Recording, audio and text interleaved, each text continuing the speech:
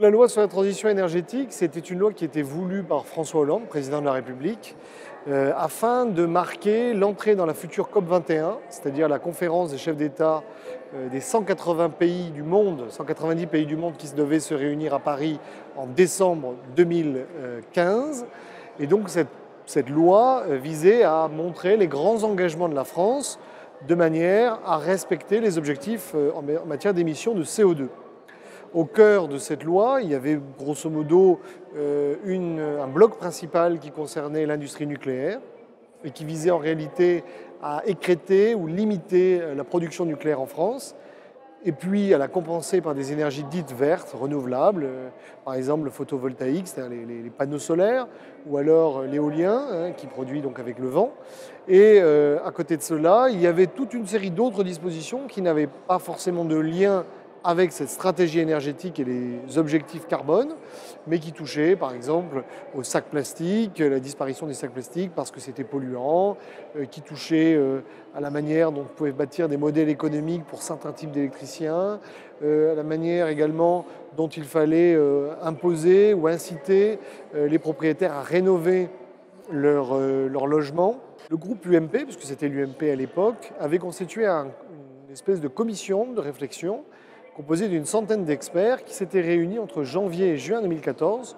pour, euh, pour réfléchir, non pas au projet de loi, puisqu'à l'époque on ne le connaissait pas véritablement dans ses détails, mais à une philosophie de stratégie énergétique. Qu'est-ce que nous voulions pour le nucléaire? Qu'est-ce que nous voulions pour le photovoltaïque? Qu'est-ce que nous voulions en matière de dépenses, en matière de transport, pour les véhicules, pour les logements? Voilà, qu'est-ce qu'on euh, pouvait dire de manière cohérente sur ce sujet-là. Et donc nous sommes arrivés à la fin de cet exercice en juin avec euh, un certain nombre de propositions très concrètes en disant au gouvernement, voilà, euh, vous arrivez avec votre proposition, nous avons nos propositions, il y en a 10, en fonction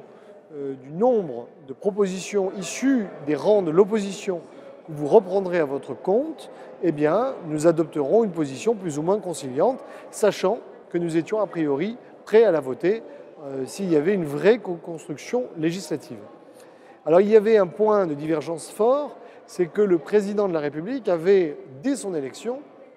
expliqué qu'il souhaitait écréter la capacité nucléaire, c'est-à-dire les installations, la production maximale théorique euh, d'électricité nucléaire sur le territoire, et qu'il souhaitait réduire en 10 ans d'un tiers euh, le parc nucléaire. Et ça, nous y étions hostiles pour plusieurs raisons. D'abord parce que nous pensions que le nucléaire étant une énergie décarbonée, on allait la remplacer par d'autres énergies qui produiraient plus de CO2. Et effectivement, la France est un pays qui est fortement nucléarisé, mais qui du coup produit moins de CO2 que d'autres pays comme l'Allemagne. Deuxièmement, qu'il y avait des emplois qui étaient liés à l'industrie nucléaire, 11 000 emplois directs et probablement le triple en emplois indirects. Et troisièmement, que de toute manière, la pente de réduction, qui était de 10 ans, était beaucoup trop abrupte et qu'en 10 ans, il était impossible de fermer euh, environ 18 réacteurs nucléaires sans qu'il y ait des conséquences en matière notamment de fourniture d'électricité. L'ambiance dans l'hémicycle euh, était très mauvaise parce que le gouvernement avait enserré le calendrier d'examen de cette loi dans des règles très strictes, puisque nous avions 15 jours et un temps limité de parole pour pouvoir nous exprimer sur un texte qui comptait plusieurs dizaines d'articles euh, et qui en lui-même comportait des milliers d'amendements. Et donc ce qui s'est passé, c'est qu'en commission de préparation de cette loi, nous ne sommes pas arrivés au bout de trois jours, quasiment à, être là jour et nuit, à voir que la moitié des amendements qui avaient été déposés. Mais le gouvernement a continué à vouloir euh, examiner ces amendements, quitte à faire nuit blanche, quitte à terminer le dimanche. Donc à un moment donné, nous avons claqué la porte de la commission. En deuxième lecture, les choses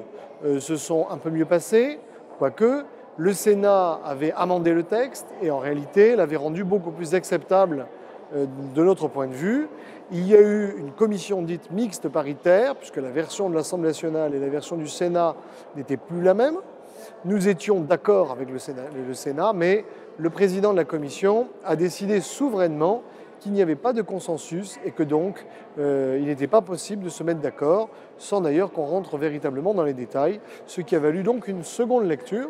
où là, nous avons fait l'économie de l'article 1 jusqu'à la ligne 13 et nous avons repris, nous, la discussion à partir de ce point-là, simplement en ciblant euh, quelques combats particuliers, puisqu'il n'y avait pas que le nucléaire dans cette loi. Par exemple, il y avait des entreprises qui produisent des sacs en plastique et qui, au 1er janvier 2016, se retrouvaient sans euh, perspective de marché en France du fait euh, eh bien, de l'interdiction des sacs plastiques et de leur remplacement par des sacs en carton. Et donc nous avons essayé de faire valoir dans cette loi toutes les mesures anti-économiques